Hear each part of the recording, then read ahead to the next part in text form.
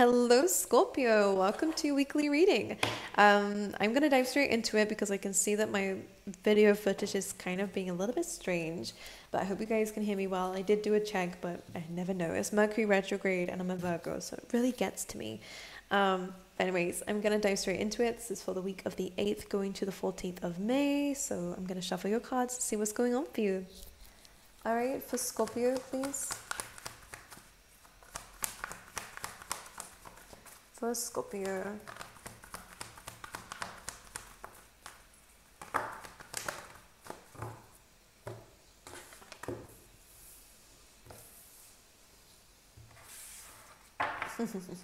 I'm sorry. Like it was just because I was hearing something, and then I actually looked at your cards, and it makes a lot of sense why I was hearing that. Like I'm hearing like a huge groan about something. I just feel like you're tired, and I feel like you're just about to get to something that you thought was gonna make you relax, and like ah, great. But it felt like maybe there was more work than you anticipated, which is okay. I I feel very positive energy coming through with your cards anyway, so this is all good and everything's gonna be all good and I think you've been working towards things being all good but it's just like how long like I'm hearing a huge like uh, like like really like you're tired I got it and I physically am starting to feel very tired in your reading so your eyes could be feeling heavy you could be rubbing them a lot more you know I just feel like your body is exhausted and you've been really working hard to get to a point where you can finally relax and you're going to reach that point and realize you have a little bit more to do which is okay. Like I think a lot is changing around you. You're manifesting in a lot as well, so it's worth it for what you're trying to call in. Let's see what's going on for Scorpio, please. And plus, you guys just had a lunar eclipse in your sign, so it doesn't surprise me. Interesting. Very interesting. Hmm.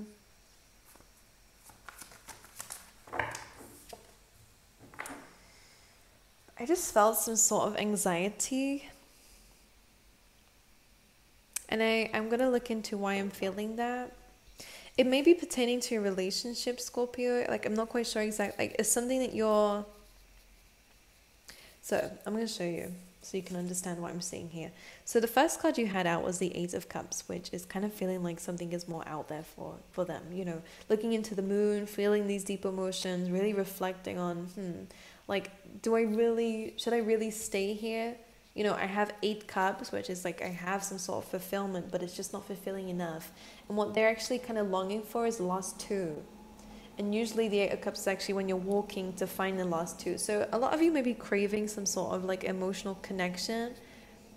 You know that could just be friendships it could be you know connections with family it could be longing for somebody here or it could just be in terms of of course romantic relationships or whatever you know so that's interesting. These two together i feel like this feeling of kind of like longing for something wanting something is going to get you to this two of cups which is a very healthy loving mutual relationship and connection or a very strong soulmate connection.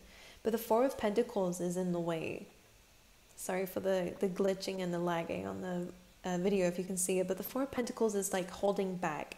Like, I don't want to do that though. If I do that, I'm going to lose part of me. If I do that, I'm going to have to let this go. If I, like, you're seeing love or you're seeing a relationship as some sort of sacrifice, or some of you could really be holding yourself back. You're not being your true, authentic self in a relationship because you're scared that you're going to let your guard down. Like, there is something of, of that nature coming through.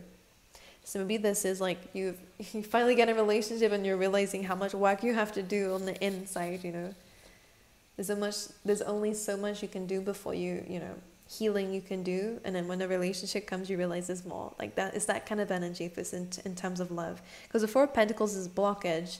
Is it, you know you have the uh, opportunity and you have the willpower to get to the 10 but you're stuck at the 4 here because you're scared that if you let this go you're never going to get to that 10 and that's what the message is here. You're scared that you're you're going to take a risk on something that actually is not going to be very rewarding for you or that might hurt you. So you're kind of resisting it, even though you're wanting it. Interesting. And then you had the three of wands, which usually is, you know, when you put the energy out there and you're waiting for it to come back to you. So maybe a lot of you kind of want love, but you are holding back and you're just waiting for it to come to you instead. And for some reason, I don't know why, it just doesn't feel like it's going to work that way. At least with that Four of Pentacles, you know, you can be doing your own thing, living your life, loving yourself, loving the life by yourself, and the right person will come along and it will be great.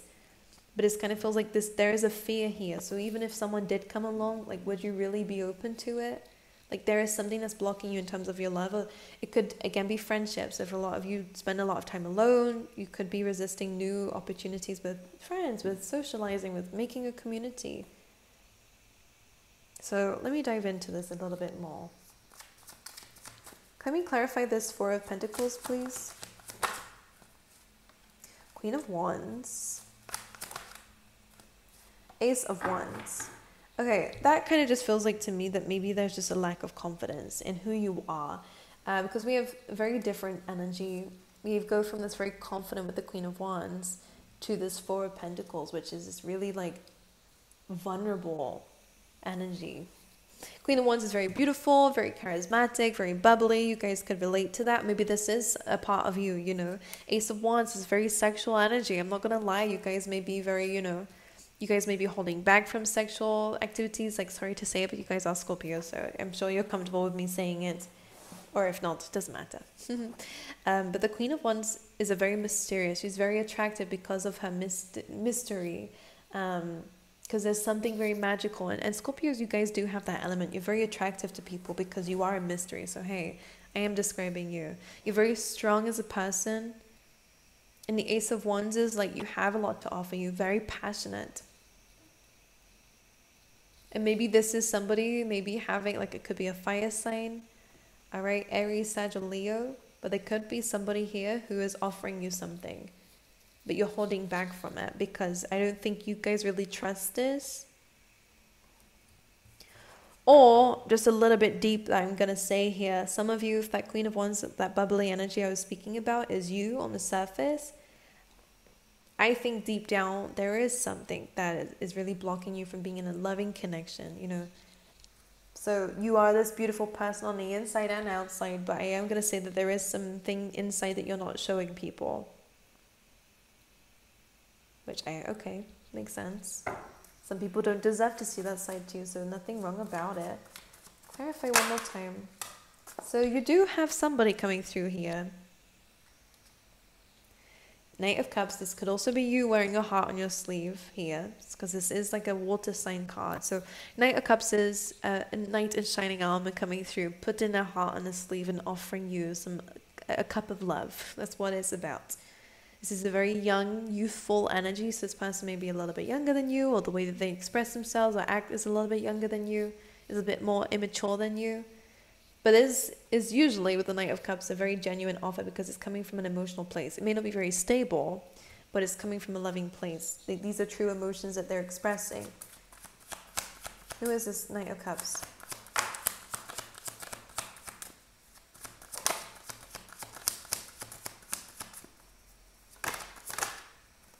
Justice. Could be Libra. We have the Nine of Cups so this could be some wish fulfillment here. Mm, I don't know if I like this energy. I think it's cute and I think it's fun. But the justice is like maybe you two are very out of balance. I do get that there could be an age gap or something here. Nine of Cups is usually like self fulfillment, and I think this person's. I'm picking up on a little bit of a selfish energy from this person. I think it's just because they're quite young or like mentally quite young. So I just don't think that they realize it. I do see that you are their wish fulfillment, but I do see that they're only really thinking about themselves. I don't actually see that they have a lot to offer. Does that make any sense? All right, I would kind of say no. Maybe this is what you're holding back from could be a purely sexual relationship. Again, doesn't have to be. I'm just, I will move away from love. By the way, for those, sorry, it was just coming through, so I had to speak about it. But yeah, Knight of Swords, which is about communication, and it could be cutting something off here. Because with the Justice card, and this kind of Justice card is like an, oh, well, Jesus, a lot of cards just fell out there in this particular deck, the Justice card is unbalanced, and there is an owl here, so maybe deep down you kind of know that this is a bit unbalanced. I think you kind of admire this person, or there's something about them that you are attracted to, but I think that's where it ends. You do have the magician, so you can manifest anything that you like. If this is not it, then it simply is just not it. Okay, because I'm kind of not picking, I'm not feeling good about that. And if you don't, and that's a message within itself, if it's not a hell yes, then it's probably a hell no, you know? Not exactly with everything, but with most things, you know, especially when it comes down to people where you're giving your time and energy to, you know, if you're not really kind of excited about it, feeling good about it, and it feels like mm, maybe I shouldn't, then you probably shouldn't.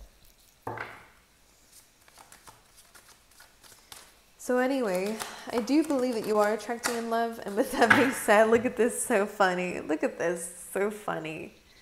Now, like you went from being the person who had something to offer to somebody else, and they didn't really have much to return back apart from this kind of cute emotion, whatever they're cute in general.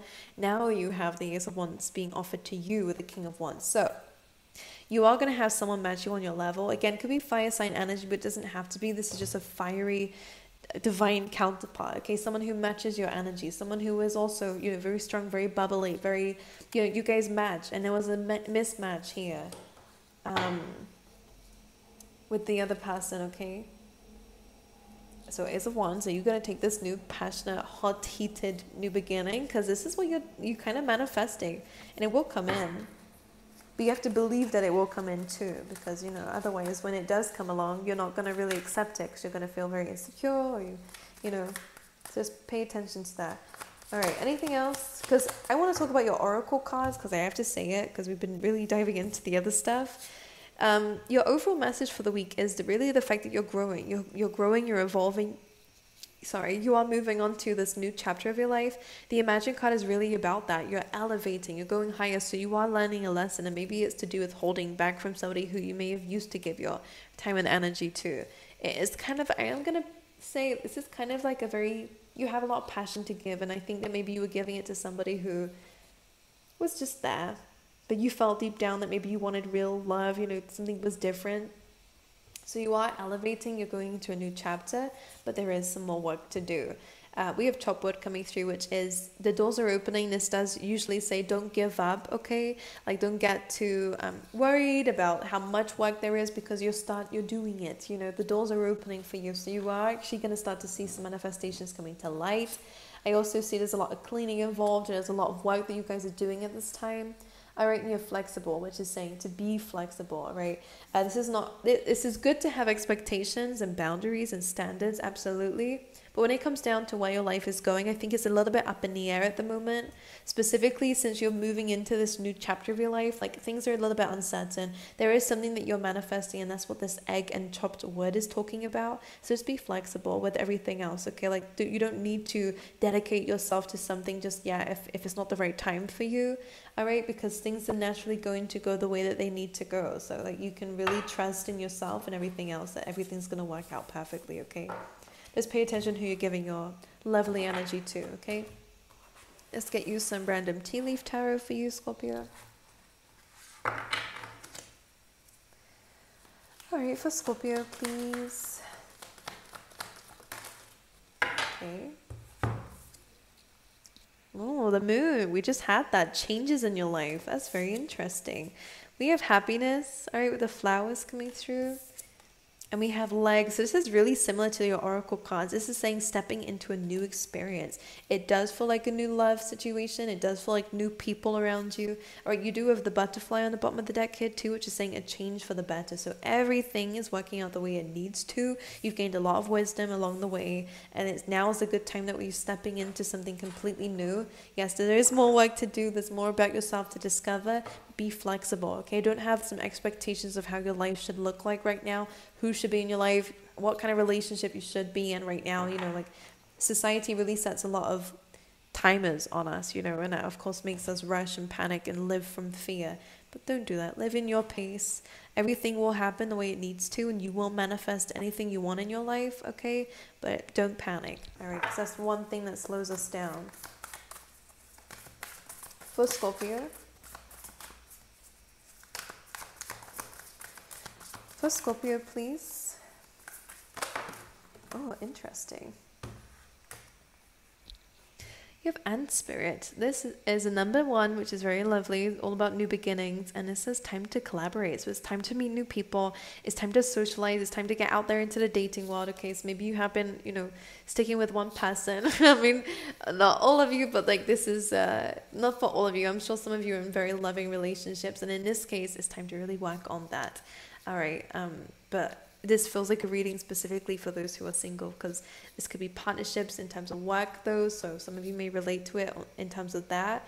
But it feels like a time to kind of see we have puzzles here so it's time to see who kind of fits into your life and who doesn't. And it's okay.